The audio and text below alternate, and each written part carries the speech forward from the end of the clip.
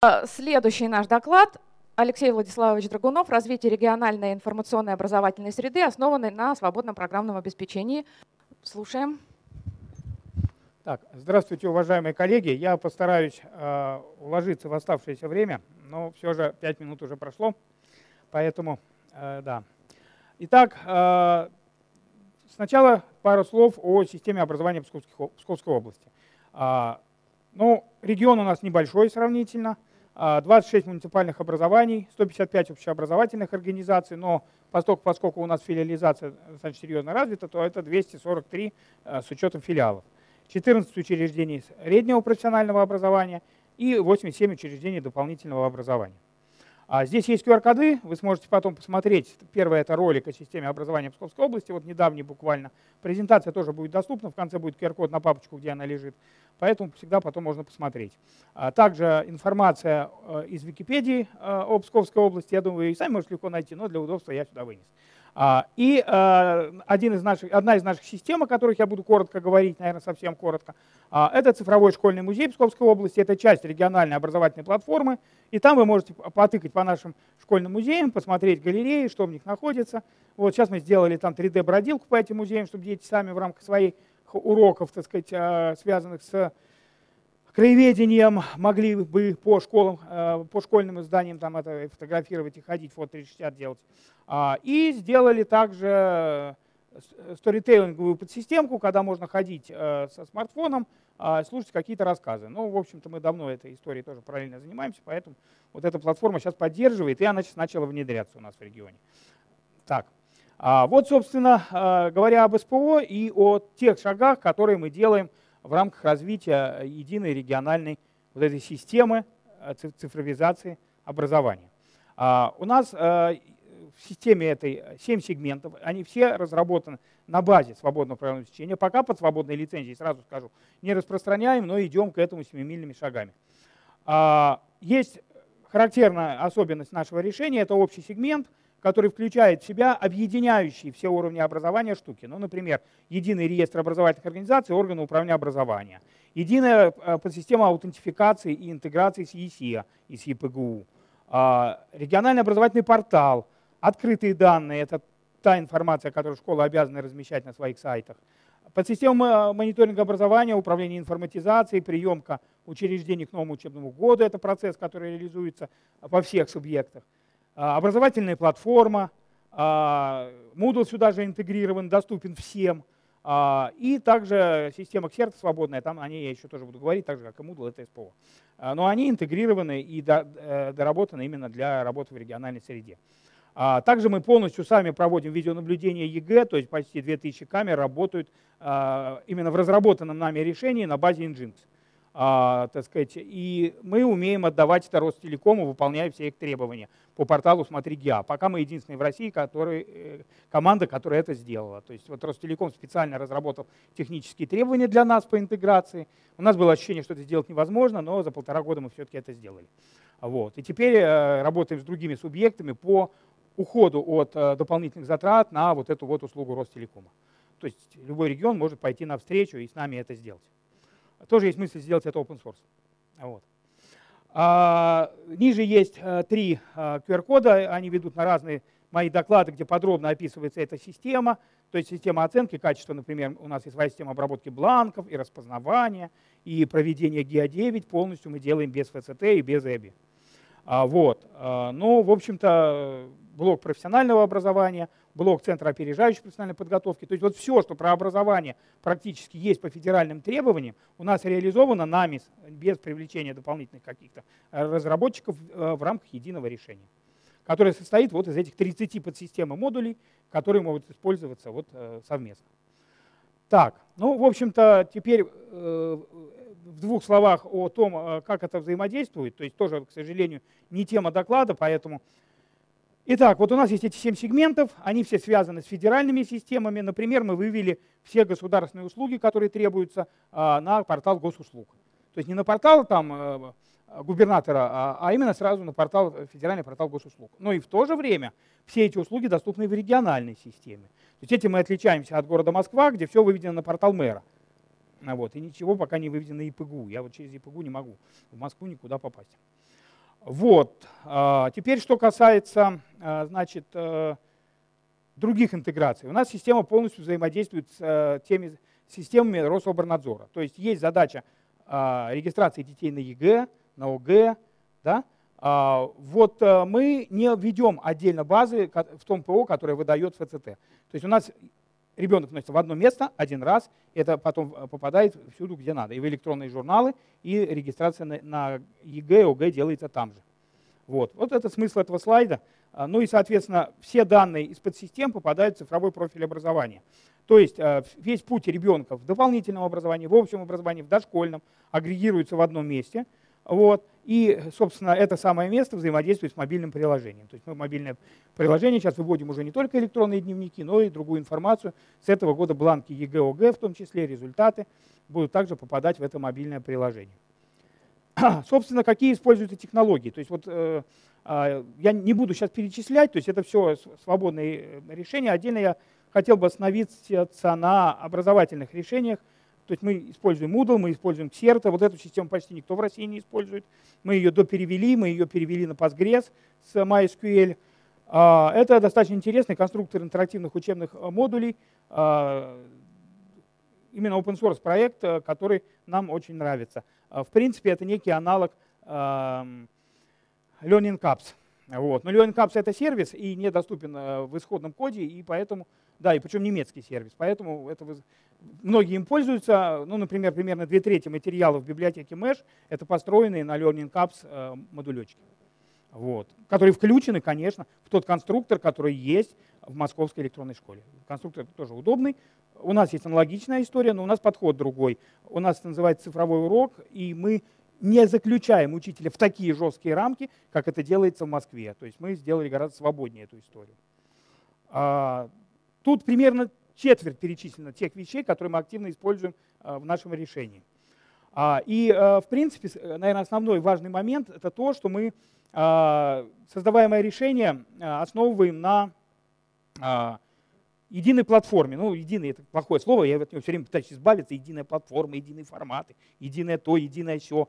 Мне все больше нравится распределенное и не такое единое, но все же, так сказать, это так. Значит, в чем смысл? Это теперь модное слово low-code. А, когда мы начинали это делать в 2003 году, никакого еще low-code, такого понятия не было. А, как правило, low-code системы, ну, я как раз планирую отдельную да, статью на эту тему, а, у нас чем отличается? Что у нас не процессные штуки создаются, а учетные. А, и в единой модели дизайнятся структуры данных, и в этой же модели, собственно, дизайнятся а, то, как эти данные предъявляются пользователям, категории пользователей и модели взаимодействия между подсистемами вот, а, в рамках того решения, которое создается. А теперь, что касается архитектуры, здесь даже не архитектура, скорее сам подход, что для нас приложение это по сути набор иерархических данных, представленных, ну, например, в XML. Вот. Соответственно, приложение, это может быть работать на кофеварке теоретически, на чем угодно. Ну, я утрирую, понятное дело. Ну, то есть на разных девайсах, э, в разных э, моделях, это может быть мобильное приложение, может быть еще что-то. А, то есть это уже кодится конкретно под задачи. А, вот наш конструктор. А, собственно, я говорил про онтологические модели, то есть некая иерархия и возможность описать э, или сконфигурировать ту систему, которая нужна. Мы этим, говорю еще раз, занимаемся очень дав давно и в том числе и для системы образования наше решение базируется на этой же истории.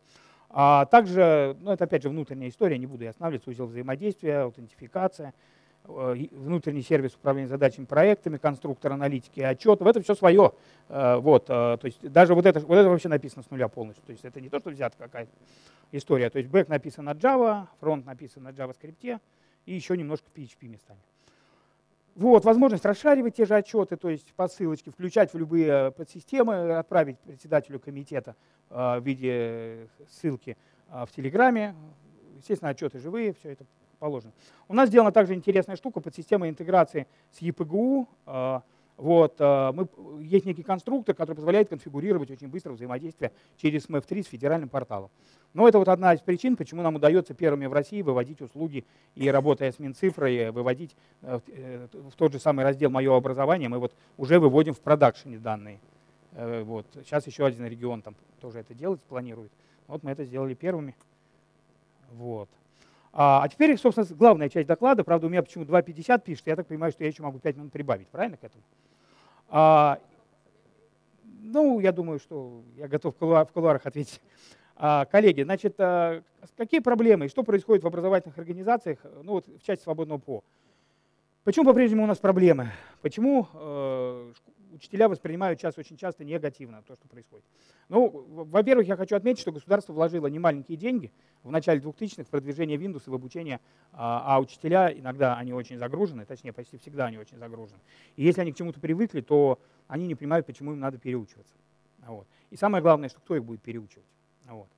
А, это проблема. Я не говорю, что мы ее уже решили, но мы ее решаем. А, итак, инертная система образования, ну окей. А, дальше. Государство до сих пор по государственной итоговой аттестации предъявляет требования по сути, ну по сути неявно, к использованию Microsoft. Мы у себя в регионе от этой истории отказались, и с этого года мы проводим, то есть как мы решаем, я сразу говорю, да? Мы, так это на откуп регионам дано, мы говорим, что, ребята, а вот Microsoft Office не будет. Ну вот не будет, потому что мы его купить не можем. Вот. А, и, э, соответственно, вы все экзамены проходите в OpenOffice, э, там Р7, там МойОфис там, и так далее. Вот. Мы проводим курсы, э, и сейчас они запускаются в феврале для педагогов и для детей.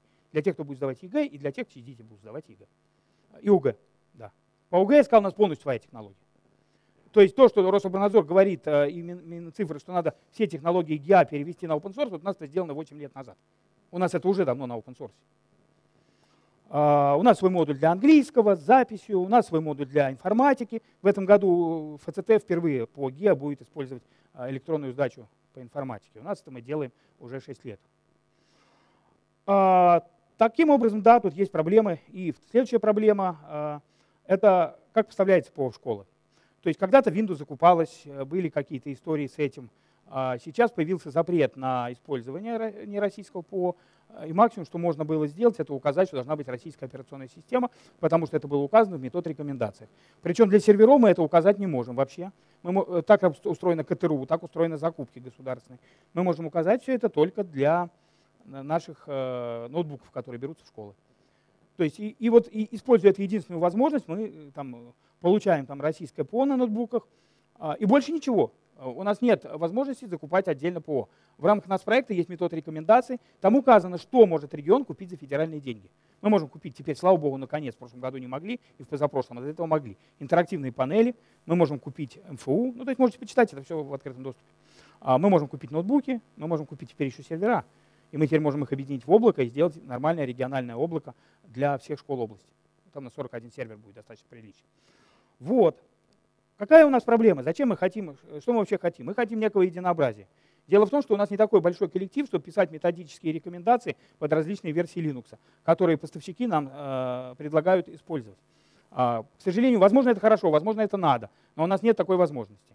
Поэтому э, я бы говорил о единых функционально-технических требованиях к операционным системам в сфере образования. Я не говорю, что должна быть одна операционная система. Должны быть единые функциональные требования.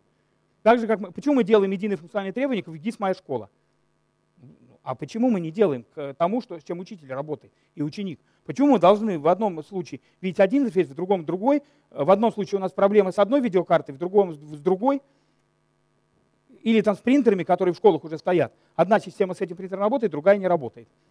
То есть, ну, мы все знаем эти проблемы, понимаем там, и глубину, и то, что это не так просто решается. Ну, вот, э, так сказать, дальше. Ну, проблема совместимости с оборудованием, я уже говорил. Проблема сопровождения, потому что в школах специалисты они есть, но их очень мало, их становится все меньше. А понятно, в чем тут беда. Ну и здесь же повышение квалификации и усталость педагогов я бы тоже добавил как еще один из камней в нашу сторону, потому что мы просим все время делать что-то новое, что-то с нашей точки зрения интересное и прогрессивное, и нужное для страны. Но, да, но здесь еще добавить надо зарплату. Ну, я не буду уж так подробно об этом говорить. Зарплаты все, все примерно представляют, наверное. А теперь э, еще ключевой вопрос. Вот мы говорим, мы сейчас насыщаем систему образования оборудованием, технологиями, какими-то решениями. И вот у нас должна произойти э, некая цифровая трансформация. То есть переход количества в качество. Ну, коллеги, ну, как бы, э, к сожалению, мы формулируем так. Цифровая трансформация в части управления образованием произойдет тогда, когда в системе образования не останется ни одного мониторинга, ни одного сбора данных с школ. Пока это, мы это рассказываем точно так же и Министерство просвещения, я думаю, что они с нами согласны. Вот. Э, но для чего мы сейчас интегрировались в ГИС «Моя школа»? То есть для чего мы тестовали нашу систему? Наверное, для того, чтобы эти проблемы решались, и учителей было бы все-таки меньше работы, а не больше. Поэтому тут есть определенные небольшие тезисы по поводу того, что нужно сделать хотя бы как минимум сейчас. Мы 10 лет назад разработали перечень принципов, которые смогли бы снизить бюрократическую нагрузку на систему образования. Но, к сожалению, вот ни один из них пока не реализован. То есть там порядка восьми было принципов. В журнале «Информатика и образование» когда-то мы это печатали. Вот. Но поменялось уже три министерства или четыре у нас. Пока не решена эта проблема, к сожалению. Ну а дальше вы можете посмотреть про нашу систему. Э, эта презентация опубликована, в общем-то. Вот, учитывая, что у меня уже там знак вопроса.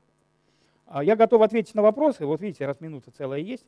Э, показывать этих 100 слайдов я вам не буду. Вот смотрите, тут есть ссылка, QR-код на материалы, это просто на наше облако корпоративное.